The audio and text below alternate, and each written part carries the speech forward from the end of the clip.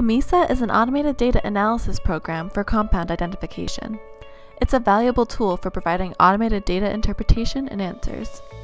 Here we show how drugs of abuse can be screened in seconds using thermal desorption, DART-MS, and PIMISA. Thermal desorption DART-MS enables the detection of drugs from any surface or material.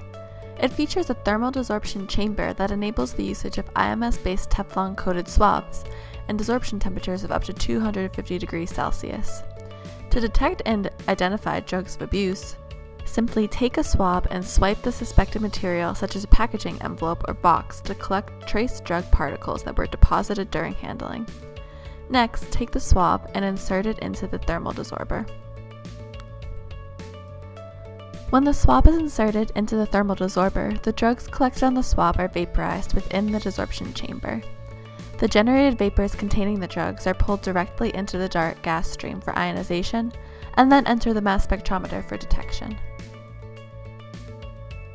With the MS software, you can view the live acquisition of both the total ion chromatogram and the mass spectrum.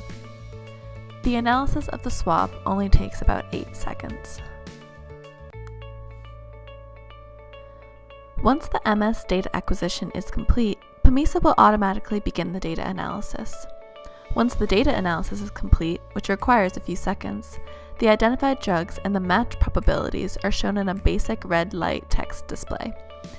In the analysis screen, you can also view the total ion chromatogram and mass spectral comparison, as well as the reconstructed ion chromatogram, or IRC, of the identified drugs. If no drugs were identified, a basic green GO indicator is displayed.